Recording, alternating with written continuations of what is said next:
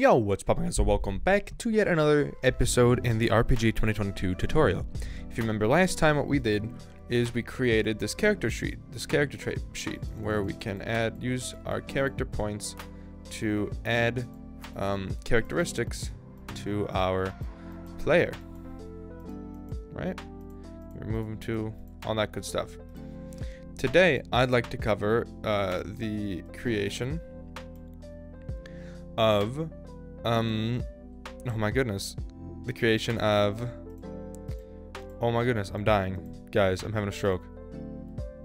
Title screen, that's the name of it. We're gonna make a title screen today. So we can kind of like put the game into an order. So what we're gonna do is we're gonna make a back, we're gonna start by making a backdrop, right? This backdrop, we're gonna put it up here. We're just gonna call it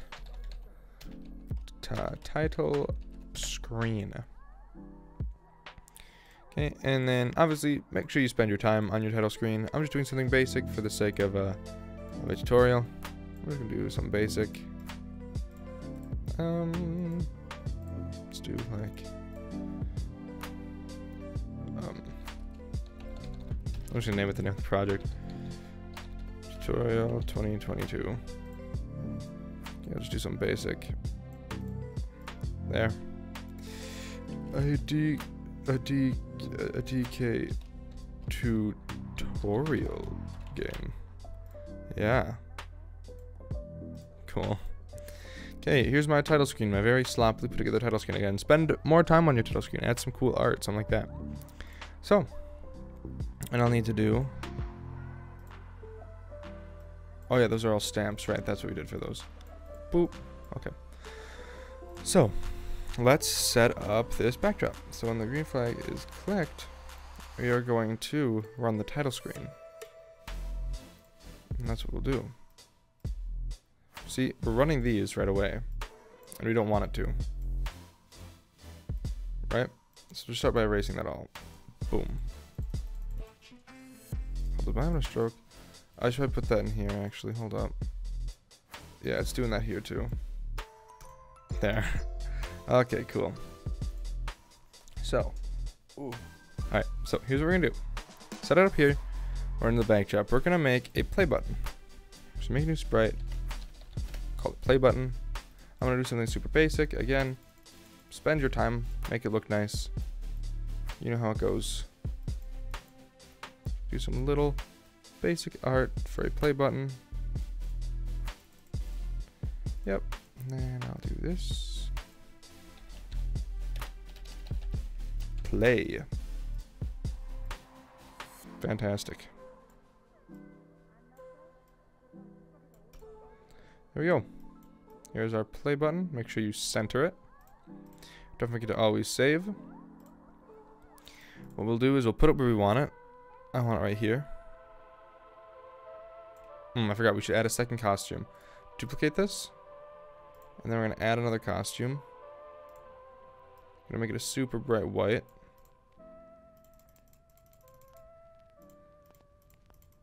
Oh, here, let's do this. I'm gonna make super bright white. And then I'm gonna do an X.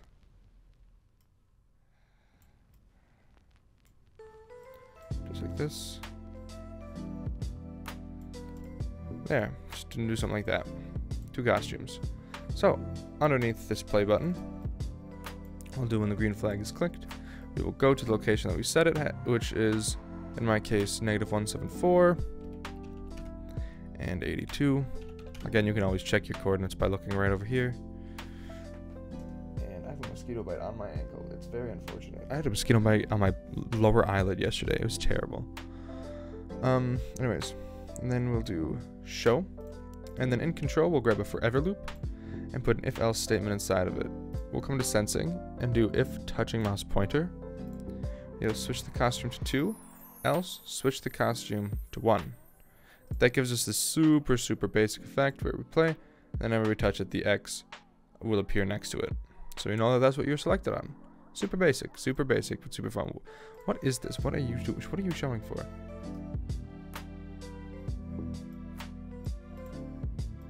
Tr true.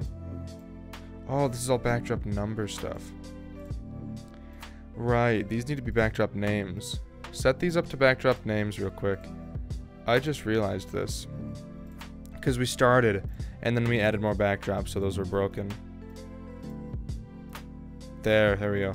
Because the backdrop names of those should be, yeah, 1, 2, and 3. They're just named. Okay.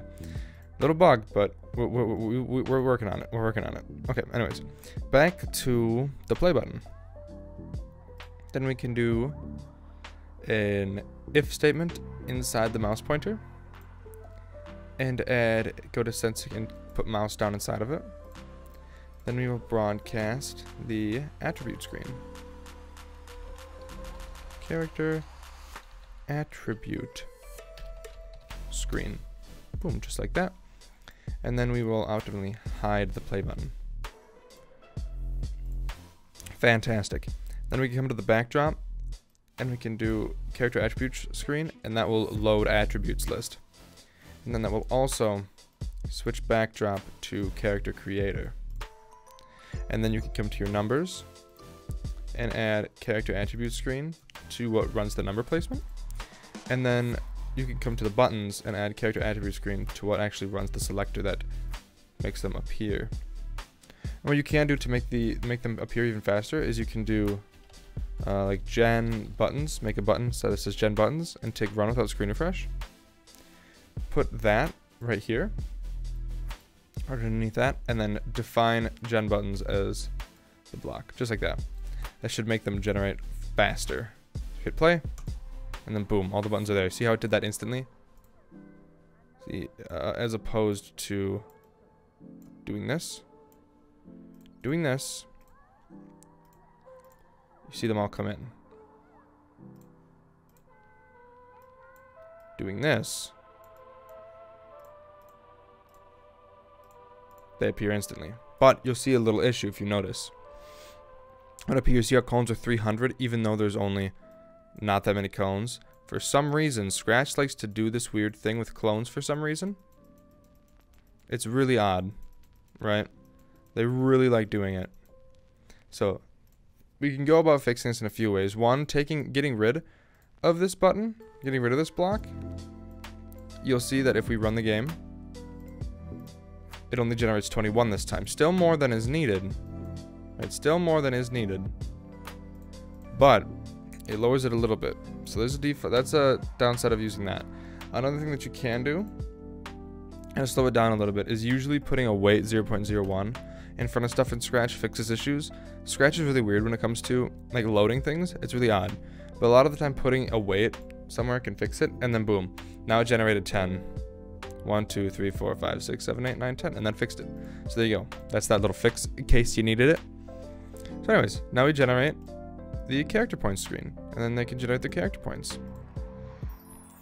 And then what we can do is we can make a new button. I'm just going to duplicate the play button I'm going to call it um, the next button. I'm going to call it next button 1 because you might make more. We're going to replace the green flag with the character attribute screen. We're going to show it. I'm going to move it down to here, to this corner. And then I'm also going to take the X. I'm going to move it to the other side. This is specifically for me. If yours looks different, you'll customize yours a little differently. And then we'll put it back on, and then we'll reassign the value, uh, the position value. 175, negative 151. Again, you can find that right over here. And then when the mouse is down, you can broadcast uh, gen oh, uh, generate world. Cool. And then I'm hide.